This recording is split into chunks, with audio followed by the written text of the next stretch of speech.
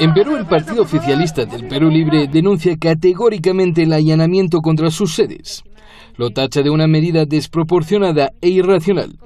Mediante un comunicado exige el cese inmediato de estos ataques y amenazas. Pone en duda la legalidad del acto judicial y llama a sus militancias y simpatizantes a rechazar tales hostilidades de los grupos de poder y oligarquías peruanas.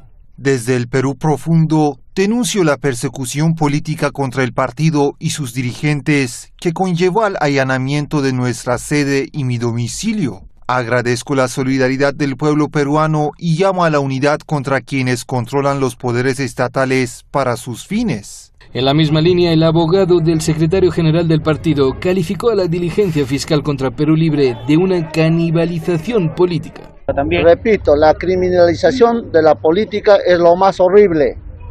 Volvemos a la canibalización política, al sicariato político, a instrumentalizar al Ministerio Público y al Poder Judicial para fines estrictamente políticos.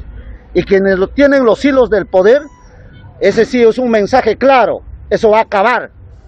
El día que tengamos un Ministerio Público independiente, absolutamente independiente, el día que tengamos un poder judicial absolutamente independiente, que no siga el juego político, entonces no veremos más actuaciones de vejamen. Resaltó que el asalto político de este 28 de agosto de la derecha se debía al voto de confianza al gabinete encabezado por Guido Bellido, dado hace menos de 24 horas. Ojalá que no sea nomás la respuesta a lo que ayer se ha dado en el Parlamento.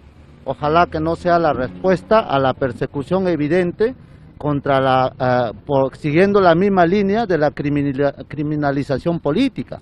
Ojalá que no sea eso.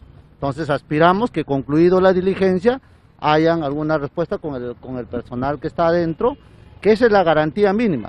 Siete inmuebles, entre ellos las sedes del Partido Oficialista Perú Libre de Lima y Junín y la casa del secretario general del partido, Vladimir Cerrón, fueron allanados este sábado por fiscales y policías peruanos como parte de una investigación sobre el financiamiento de la campaña. Acusaciones descartadas duramente por los dirigentes del Partido Oficialista. Que vamos a ir con información de Mahdi Jaladi, Hispan TV Noticias.